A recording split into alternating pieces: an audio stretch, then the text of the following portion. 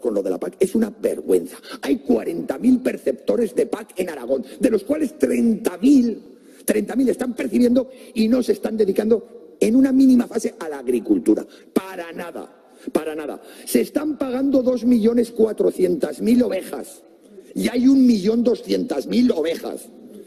Esos son fondos públicos, señor Olona.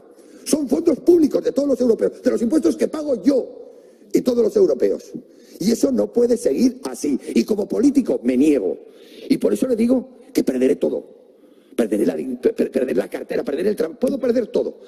Pero jamás en la vida me van a poder decir cuando vaya a un territorio de Aragón que agache la cabeza, porque no la voy a agachar.